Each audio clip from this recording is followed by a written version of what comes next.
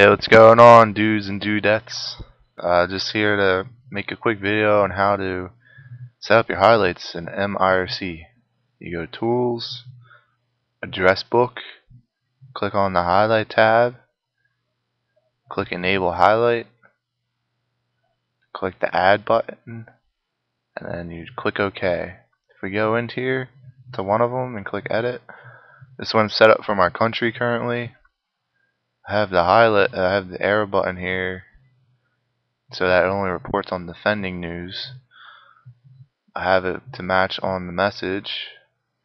I have the color in purple because nothing else uses purple and it will stay out. It will uh, stand out between all the other colors in the room. And I have it set to, to beep each time. If I click on it again, it will pop up to uh, make me look for a music file or, or something instead of a beeping sound. And if I click cancel, it will have no sound, but I want it to beep. I have it set to flash 30 times if the window is open, and I also have it set to tip message down that will show at the clock to the bottom right hand corner, and it will show three. It will uh, show for three seconds. And the message I have it showing is the sleeping giant so that I know that my country is being hit.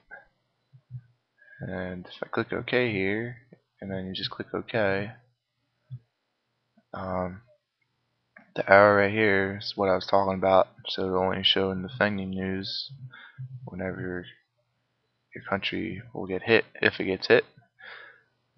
That is about it, and uh, catch you later.